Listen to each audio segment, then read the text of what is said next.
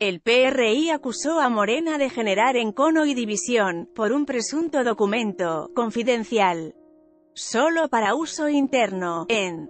el que obliga a los asistentes, en los eventos de Andrés Manuel López Obrador, a emitir sonidos y gritos de desaprobación, en contra de mandatarios estatales como parte de un manual para eventos del presidente en estados que gobiernan partidos de oposición. Por ello, el revolucionario institucional exigió a Morena y al gobierno federal pronunciarse respecto a su autenticidad, pues,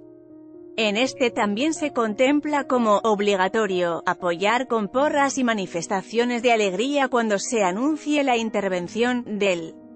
Señor Presidente Constitucional de los Estados Unidos Mexicanos, entre las que destacan, es un honor estar con Obrador, gobernadores condenan abucheos.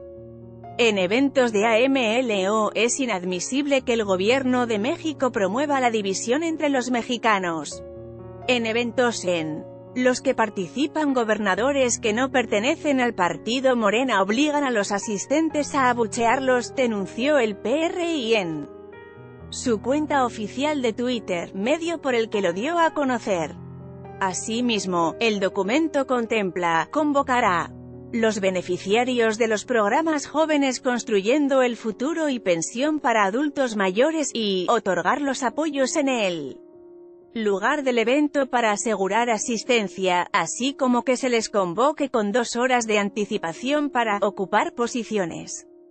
estratégicas. Ante este escenario, el tricolor cuestionó si esa es la estrategia, por lo que exigieron respeto para los gobernadores, AESI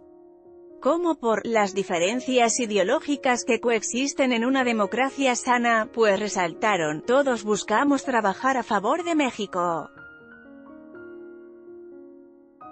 Basta que el gobierno de México aliente la polarización, sentenció.